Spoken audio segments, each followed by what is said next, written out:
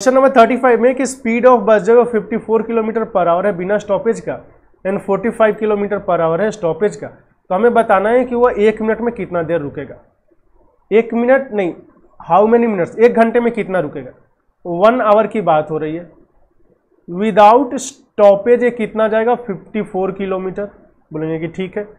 And with stoppage ये कितना जा रहा है? Forty five kilometre. इसका मतलब कि जो डिफरेंस आ रहा है, कितने का आ रहा है आपका? नाइन किलोमीटर का। इस नाइन किलोमीटर को ट्रेवल करने में, क्योंकि आप समझिए कि स्टॉपेज एंड विदाउट स्टॉपेज में क्या डिफरेंस है? नाइन किलोमीटर का। मतलब विदाउट स्टॉपेज में नाइन किलोमीटर ट्रैवल किया है ट्रक या बस जो भी है बस ट्रेवल किया। इस नाइन किलोमीटर को ट्रैवल करने में जितना टाइम लगेगा, उतना ही दे रही है। रुका था। तो नाइन किलोमीटर ट्रेवल करने में कितना लगेगा? नाइन बटा fifty four into sixty minute में चाहिए ना? तो छः दस का साठ। टेन मिनट रुका और आंसर आएगा ऑप्शन नंबर टू